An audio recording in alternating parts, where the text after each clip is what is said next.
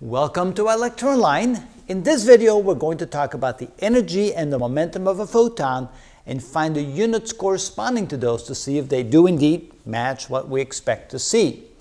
And from the previous video, we now know that the momentum of a photon can be expressed as the energy divided by the speed of light. Now we have the energy of a photon defined as Planck's constant times the frequency. We know that the wave speed equal to the speed of light is equal to the product of the frequency times the wavelength. And we know that Planck's constant is equal to 6.626 times 10 to the minus 34 joules times seconds. We can express the frequency as the quotient of the speed of light divided by the wavelength. And if we plug that in here, we can also express the energy of a photon as hc over lambda, which is my preferred way of doing that. But let's take each of these three equations. So we're going to take the energy expressed as Planck's constant times the frequency, energy expressed as hc over lambda, and the momentum of a photon expressed as E over c, and see if it does indeed have the right units. So let's start with energy being equal to h times f. So we have the units for h, which is equal to joules times seconds by definition. And then we multiply that times the frequency, which is 1 over seconds. And right away you can see that the seconds cancel, and sure enough, that does indeed give us the units for energy. So it is a good equation, equals h times f, does make a lot of sense because it does give you the units for energy. If we take the second equation, we should of course get the same thing.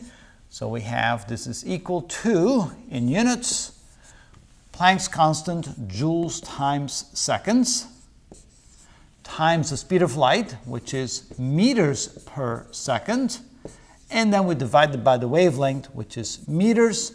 Notice that seconds divided by seconds, meters divided by meters, and sure enough, we again get the units for energy, joules. Now, what about momentum? Well, momentum is equal to the energy divided by the speed of light, according to the equation that we saw in the previous video, and we note that the energy now converges to the units of joules.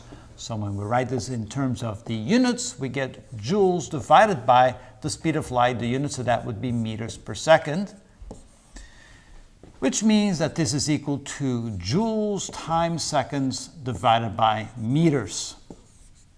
Now the question is, does that give us the units of momentum? Well, let's find out.